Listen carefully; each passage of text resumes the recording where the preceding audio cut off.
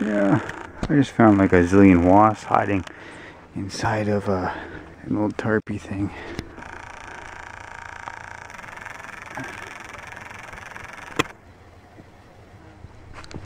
Yeah, fuck that. I'm gonna kill those those fuckers later. Yeah, so they're still around. Fucking wasps. And they're right inside that thing. A whole ton of them. Yeah, so I just clean that out and hose that out later. Holy crap, these guys ever go away? Never. Let's have some fun, shall we? And we're gonna raid it up with the old wasp and hornet spray.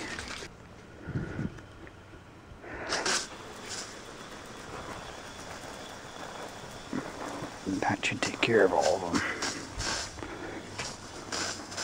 Yeah. They're gone. They're gone. They're gone. Ow. Gonna stink like shit. It's late in the year, and I still found wasps. Lots of them. So if you do this, make sure you change your clothes afterwards, because this poison stuff stinks. Anyways, thanks for watching, guys, and uh, that hopefully will be the last of the, uh, the hornet and wasp invasion. Holy. Yeah, good thing I didn't get stung. Rock and roll.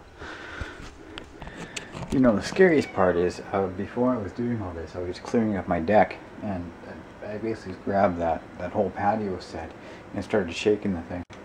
And the patio umbrella, I didn't even notice, I didn't think there'd be bees inside, but I did uh, keep, you know, just a caution in case, and uh, there was a bunch of wasps and whatever inside. And uh, luckily I opened it up quick enough that they didn't get to me first because I'm allergic man. If I get stung I have to take my EpiPen and uh, it's no fun. Right Ben?